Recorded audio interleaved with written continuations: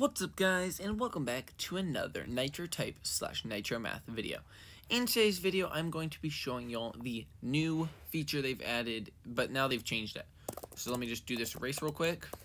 Anyway, so as you see I finished the race. Now if you look down here at the bottom right there is the race again button. So if you press enter to play again now they've changed it. It used to say next race starts in 5 seconds. Now they have literally updated it as of I'm pretty sure today they've updated it and it takes 10 seconds instead of 5. Now the reason this pops up right here, tap on the racetrack to activate your keyboard, that's because I'm on an iPad, I'm not on a computer. If you're on a computer, it would just go into next race. So they have changed it from 5 seconds to 10 seconds. Now personally, this change is interesting. I don't know if I like it or don't because I liked it better, I guess, per se, with the whole 5 second thing because you didn't have to have like an auto reloader for people that are trying to grind but now that it's 10 seconds, it's not really efficient to just let it load into another match.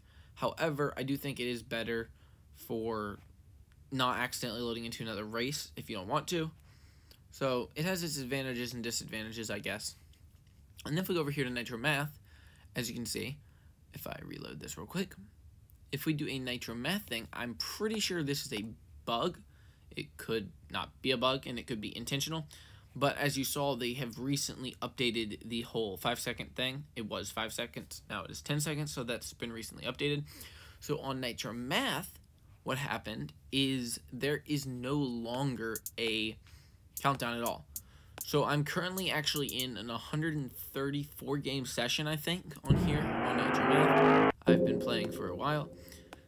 So I don't know if this is something that only happens when I'm in a long session or if this is just something that happens as soon as they dropped the update where, you know, it went from 5 to 10 seconds if they disabled it on Nitro Math.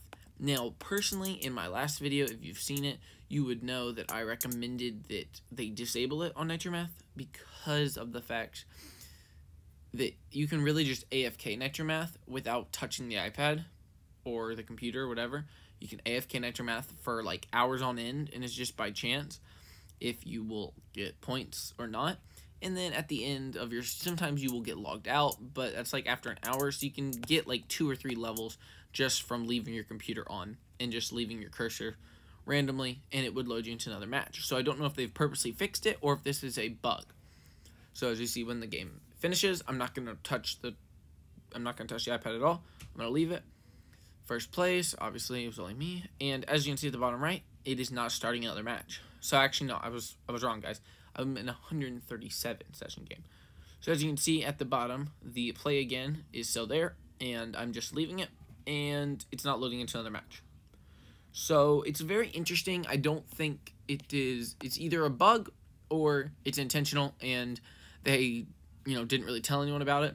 Now, in my personal opinion, Nitro Type and Nitro Math, they the news, the news pages, the news posts are kind of lacking. I mean, if you wanted to, if you guys wanted to go check out some older news posts, uh, if you didn't know this, you can go down here to the bottom, click um, sitemap, and then you get every single news post ever posted. And some of these old things were like awesome. Like they they posted crazy stuff. Like, uh, like uh, million dollars for a million races or whatever they completed a million races in a day. So it's it's crazy. So like they literally gave a million dollars to everyone who's level 20 and raced 10 times the day that they got a million races. If they get it. So like they used to make news posts about some crazy awesome stuff and they would make random news posts. And honestly, I kind of just miss it. Like they did some like just let's get social. They would just make a news post about, you know, stuff that they used to have in the game. They don't really do that anymore. Most of our news posts are months apart. So if we go to the news, we have, you know, 813, 808. So this is something I'm glad they did a news post about. But 703, so that was a whole month between these two news posts. Um, you know, they had two months, pretty much, month and a half between these two. Uh, the only new things really that they've released are like this right here. Good things come to those who wait. So I, I just really think that they need to add more news posts that they don't always have to be related to the whole game. It can just be something small, like a little update. And especially they need to keep the uh, Nitro game updates, you know, updated because, well, I mean, like casual mode launch, that's not in here. So, like beta access to Nitro Math, that's not on here. So I don't know if each website is supposed to have its own um, updates page, but as you can see on here, this has all the updates for Nitro Type.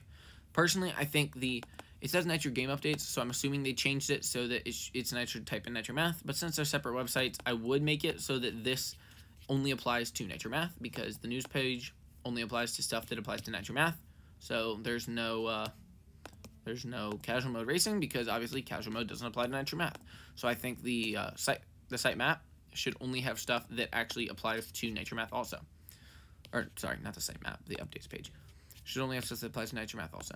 So thank you guys so much for watching this bug video, sort of, I guess. And I will hope to see you guys in another video very soon.